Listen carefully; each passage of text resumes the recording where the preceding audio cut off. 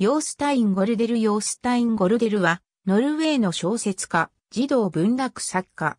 ゴルデルは、オスロの教師一家に生まれる。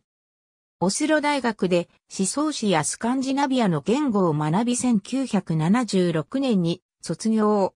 一時期、作家として独り立ちする前に、高校教師としてベルゲンで哲学と文学を教えていた。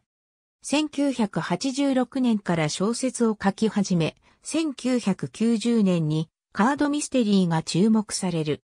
彼の最もよく知られている著作は、1991年にノルウェーで初出版された哲学の歴史についての本という副題を付けられたソフィーの世界である。この本は53カ国語に翻訳され、売り上げはドイツのみでも300万部、全世界で2300万部にも上ったと言われる。1994年、ドイツ児童文学賞受賞。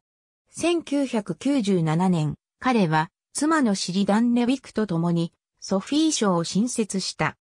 この賞は国際的な環境や発展援助のために貢献した人や団体に贈られるもので、賞金総額は10万ドルが毎年贈られることになっている。これは彼の主張のタイトルにちなんで命名されたものである。日本でのテレビインタビューでは大切なのは疑問を持つことです。